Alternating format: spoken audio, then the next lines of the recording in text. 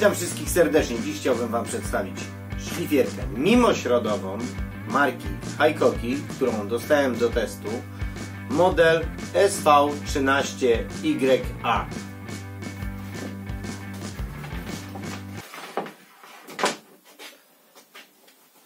Wcześniej znana jako Hitachi. Moja szlifierka, którą dostałem do testów, żeby nikogo tu w błąd nie wprowadzać, jest z 2019 roku. Myślnik 3.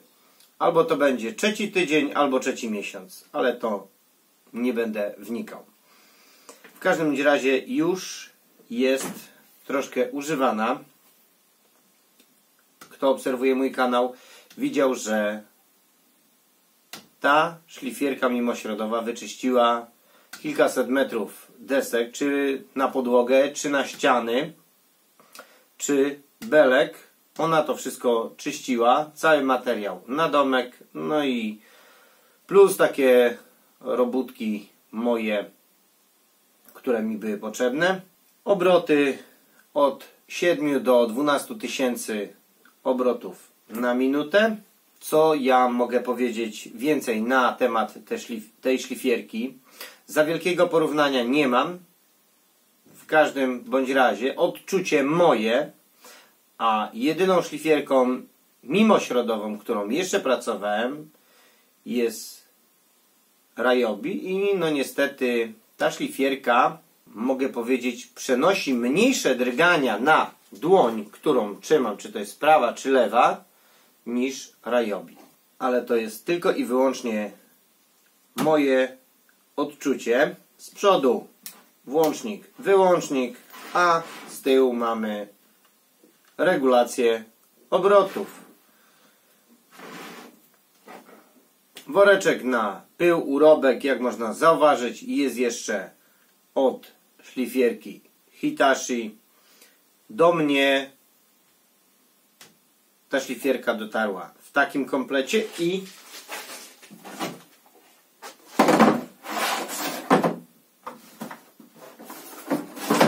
takiej walizeczce, kufereczku. Ale to jest najmniej ważne. Ważny jest sprzęt. Wrzucę przebitki z wcześniejszych projektów. Jak ona od początku sobie dawała rady.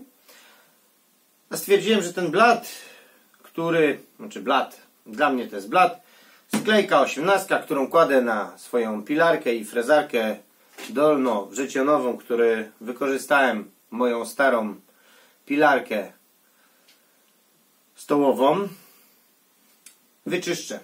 Na tym blacie jest wszystko.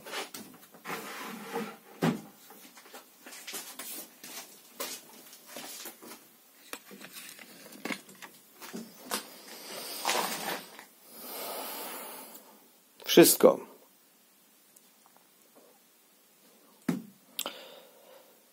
Na tym blacie znajduje się dokładnie wszystko.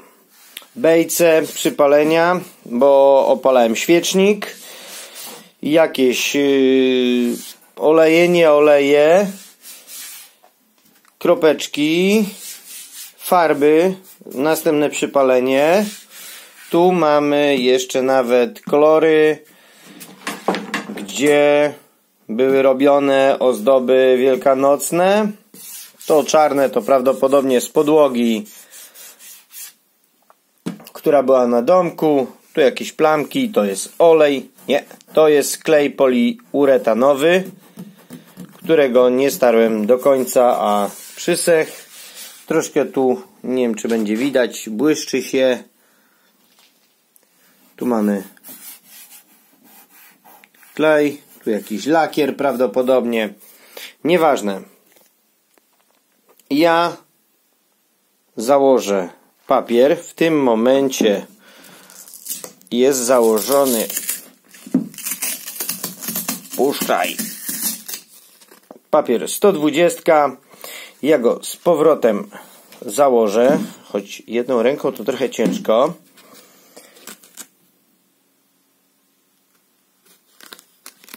Momencik, odłożę kamerę, bo już widzę, że mi dziurki nie pasują.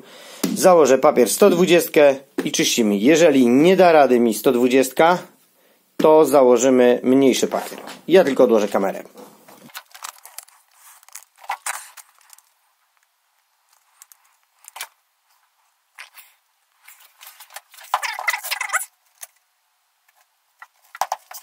Mamy papier 120.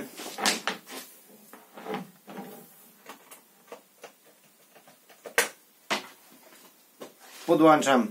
Ja ubiorę sobie maseczkę, słuchawki z tego względu, że nie posiadam przejściówki do odkurzacza, więc wszystko będzie się zbierało w pojemniczku, który jest dołączony do szlifierki.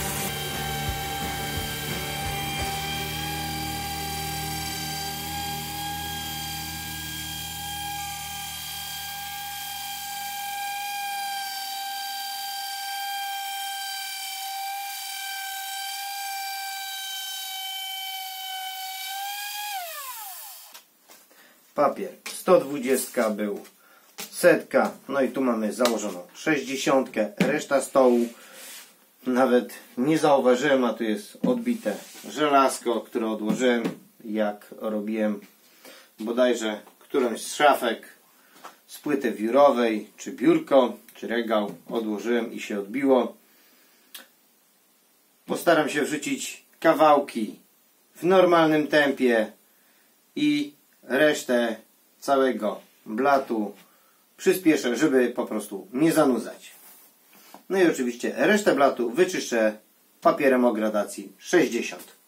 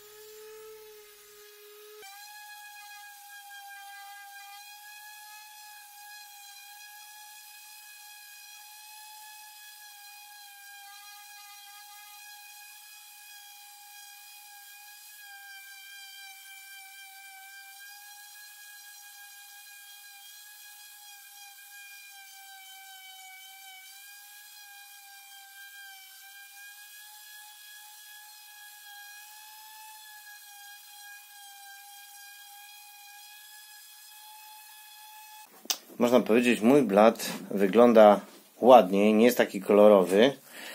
Niestety nie da się wszystkiego wyczyścić. Tu mamy dołeczki. Tu pewnie była pilarka, dłutko. Miejsca, które po prostu są zagłębione albo głęboko. Tu Mamy ryskę.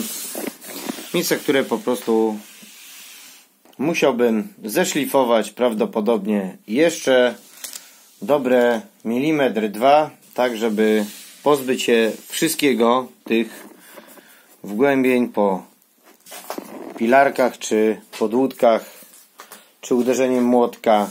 Wtedy można powiedzieć byłaby płyta wyczyszczona na zero. Aż tak czystej wyszlifowanej płyty na blad roboczy ja nie potrzebuję. Tu mam świeży nabytek, też z firmy Haykoki, też o średnicy 125 mm. Gąbeczka i mi się to widzi. Nie wiem jak Wam, ale mi się czasami zdarza. Tu dla przykładu wezmę, żeby szybko to zademonstrować. Nie wiem jak to będzie zobrazowane w kamerze. Jak można było zauważyć, ja położyłem tylko rękę i przesuwałem w prawo, w lewo, góra, dół i szlifuję. Mam mniejsze elementy i zdarza mi się coś takiego, że delikatnie uniosę czy w prawo, czy w lewo, czy przesunę do przodu, czy do tyłu i powstaje nam delikatne wgłębienie.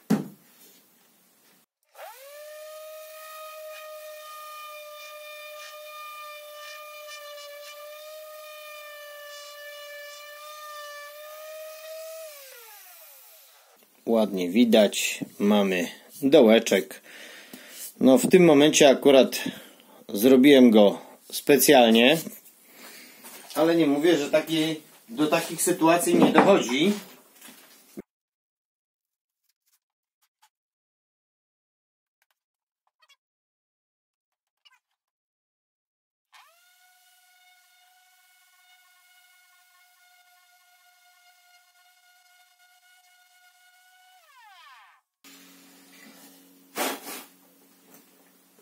I nie wiem jak to wyszło w kadrze. Ja tą przechylałem prawo, lewo, prawo, lewo, prawo, lewo, prawo, lewo i i oprócz mniejszego tego wgłębienia wcześniejszego mogłem szlifować do końca. Tu jest niedoszlifowane i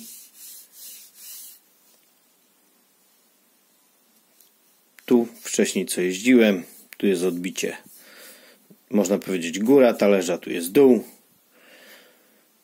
A tak to mamy gładką powierzchnię. Jakbym szlifował jeszcze chwilkę no, dłuższą chwilkę to wyczyściłbym to na zero. I tak jak wcześniej wspomniałem przechylając szlifierką na boki. Ta gąbka się nam poddaje, czy to będzie z boku, czy z przodu, czy z tyłu.